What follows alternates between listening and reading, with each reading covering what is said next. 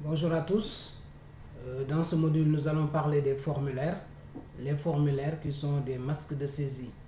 Donc, l'utilisateur d'une base de données peu expérimenté avec Access ne devrait pas pouvoir modifier ni même visualiser directement les tables et les requêtes de la base de données.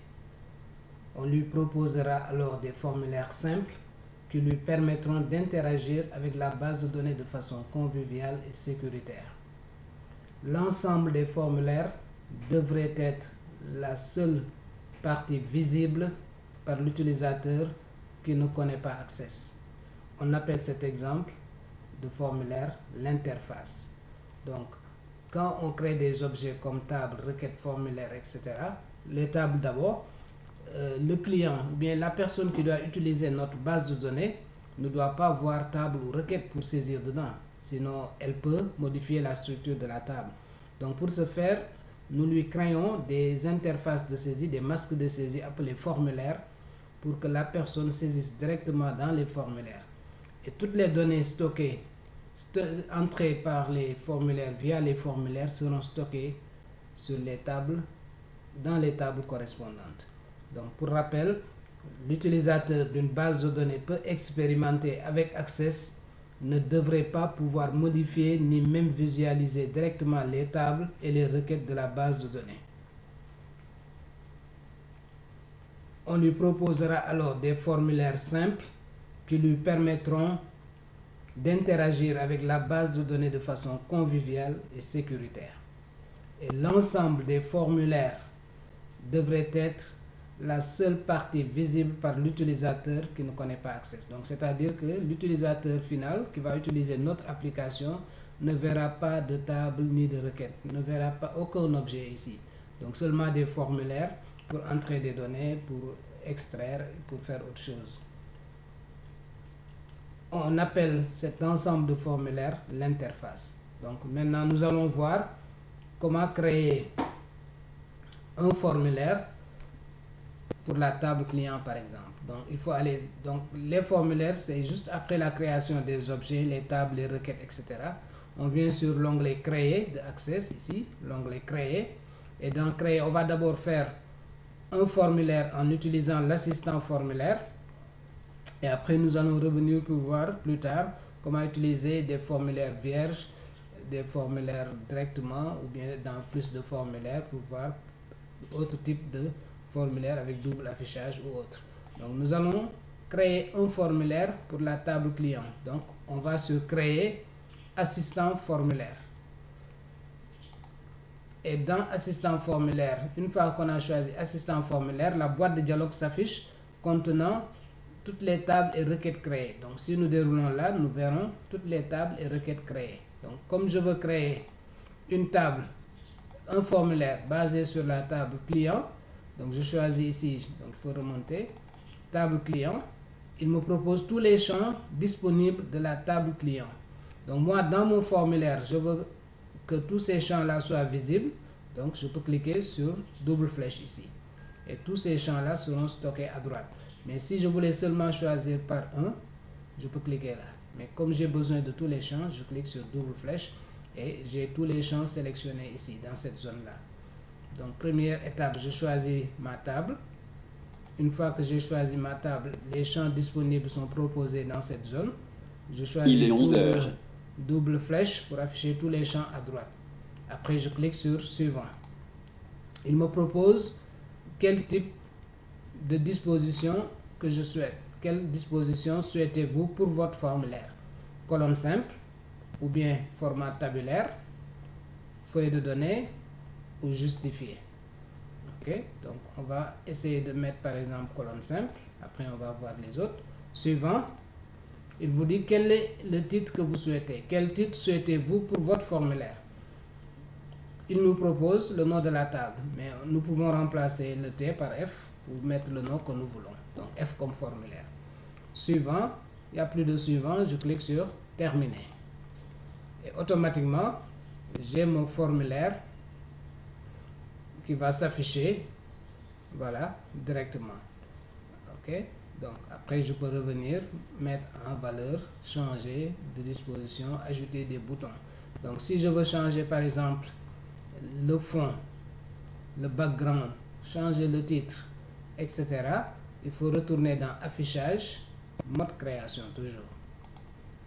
Là, si je veux changer le titre, je clique dedans, je mets par exemple client.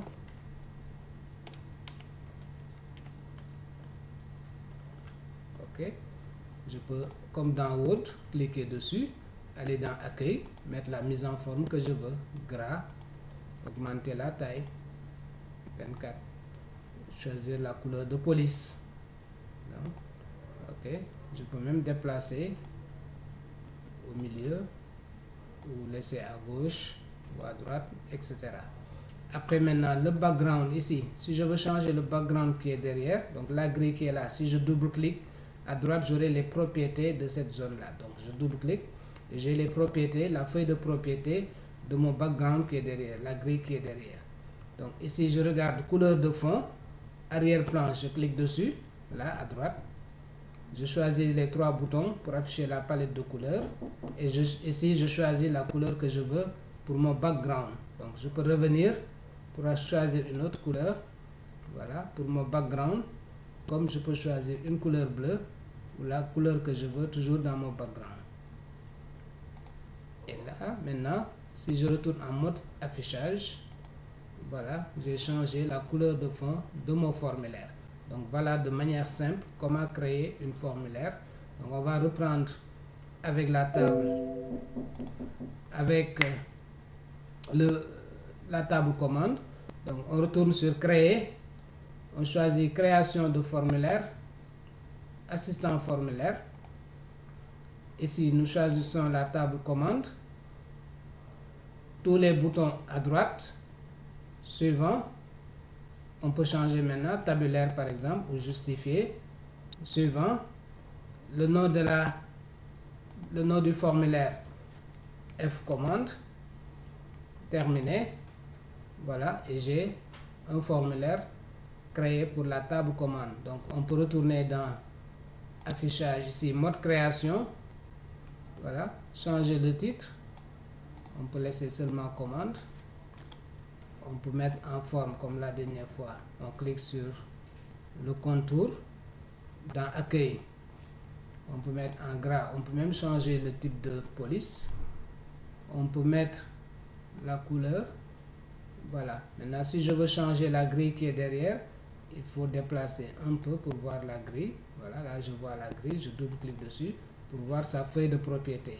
Dans couleur de fond arrière-plan, je choisis une couleur. Voilà, et maintenant je retourne en mode affichage. Voilà, donc je vois que j'ai changé, j'ai créé un formulaire pour la table commande. Donc l'utilisateur ne, ne verra que les formulaires. Donc on verra après. Maintenant, pour ajuster les objets, par exemple, là, je vois que les étiquettes ne sont pas visibles. Je retourne en mode création. Voilà. Et là, je sélectionne. Voilà, je peux même sélectionner comme ça avec contrôle tous les objets. Voilà. Et je viens sur accueil. Je mets la couleur de police que je veux. Voilà. Là aussi, même chose. Désignation. Couleur de police noire. Quantité en maintenant contrôle enfoncé, je sélectionne toutes les étiquettes noires. je reviens en mode affichage. Voilà, donc là c'est lisible. Ok. Voilà. Donc voilà comment faire un formulaire. Donc nous verrons dans un autre cours les boutons de commande, comment ajouter des boutons ici. Je ferme. Autre méthode. Pour aller plus vite, je peux choisir par exemple table étudiant je clique dessus, je veux créer directement un formulaire rapidement pour table étudiant. Je clique dessus, créer, et je clique directement sur formulaire ici. Et j'ai automatiquement un formulaire dédié pour table directement, au lieu d'utiliser l'assistant. Et là, après, je peux revenir toujours comme tout à l'heure en mode création pour personnaliser, par exemple, ici, mon titre. Voilà, comme tout à l'heure. Accueil gras, couleur de police. Voilà, augmenter la taille si je veux. Ok, maintenant ici, le background, la grille qui est derrière, il faut voir la grille. Sinon, il faut tirer un peu là, vers la droite, pour voir la grille, double-cliquer dessus, couleur de fond, choisir une couleur. Voilà. Maintenant, les étiquettes, je vois que ce ne sera pas visible. Je les sélectionne avec CTRL enfoncé. Voilà. Ensuite, je viens ici, gras, couleur de police. Noir peut-être, voilà. Et là, une fois que c'est bon, je retourne en mode affichage. Voilà, je vois que j'ai créé un formulaire pour ma table étudiant de manière directe. Donc, je choisis ma table ici. Donc, avec l'assistant, on peut créer en suivant. Donc là, on peut maintenir F étudiant comme nom de formulaire. Là, je veux faire un formulaire pour produit. Je clique dessus, créer. Je pouvais passer par l'assistant ou par plus de formulaires qu'on verra après. Mais sinon, je clique directement sur formulaire directement ici et j'ai créé automatiquement un formulaire pour table produit. Donc voilà comment créer de manière simple des formulaires pour notre, nos objets, table, requêtes, etc. Donc les requêtes aussi également auront des formulaires. Par exemple, ici, je veux créer un formulaire. On va enregistrer le formulaire produit. Je veux créer un formulaire. Donc tous ces objets-là, table et requête, auront des formulaires dédiés. Donc je clique par exemple recherche par nom et adresse, recherche adresse, créer formulaire. Voilà, et j'ai un formulaire. Donc si on enregistre le formulaire, F recherche par adresse. Donc ça veut dire quoi? Si je double-clique, là on voit les objets formulaires. Par exemple, F adresse. Voilà. Comme on avait mis dedans Dakar, donc il nous donne directement le formulaire pour ceux qui sont de Dakar. Là aussi, je clique sur formulaire de calcul, créer, formulaire, voilà, j'ai mon formulaire. Maintenant, si c'est plusieurs informations que je dois ajouter, mieux vaut choisir tabulaire sous forme de tableau. Donc ici, pour ce formulaire-là, par exemple, au lieu de faire ces calculs, requête calcul, donc au lieu de prendre directement formulaire, je vais utiliser l'assistant. Je choisis la requête calcul, j'ajoute tous les champs à droite, suivant, et là je choisis tabulaire, comme ça j'aurai la liste sous forme de tableau, au lieu d'afficher par, par, enregistrement. Donc suivant, F formulaire, terminé. Voilà, comme ça j'ai ça sous forme de tableau, c'est mieux que de mettre un formulaire par, par enregistrement. Quoi. Donc là, j'affiche sous forme de tabulaire. Si je veux améliorer sous format tabulaire, sous format tableau, je peux retourner en mode création, personnaliser tout ça. Avec contrôle, je sélectionne toutes les étiquettes pour mettre en valeur gras, couleur. OK. La grille qui est derrière, je peux tirer comme ça double-cliquer, couleur de fond comme tout à l'heure. Voilà, là aussi en bas, je peux descendre le pied de formulaire, double-cliquer, couleur de fond, voilà, et affichage. Donc, si j'ai cette euh, présentation, donc je peux l'améliorer, je reviens en mode création ici, et là je je sors du pied de formulaire. Donc je vais refermer ici. Donc je mets ça en bas.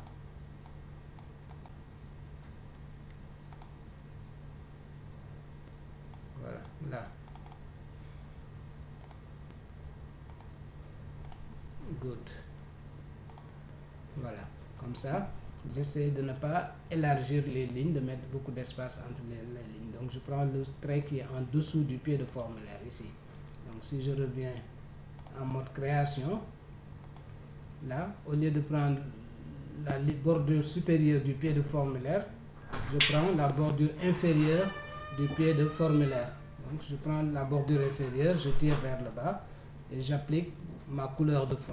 Maintenant, si je reviens en mode affichage, voilà mon formulaire, requête de calcul. Voilà de manière simple, chers apprenants, comment créer un formulaire. Donc pour rappel, tous les objets, tables et requêtes auront un formulaire dédié. Parce que l'utilisateur final ne doit pas voir la table ni requête, mais directement entrer les données dans les formulaires. Donc à très vite pour le module suivant.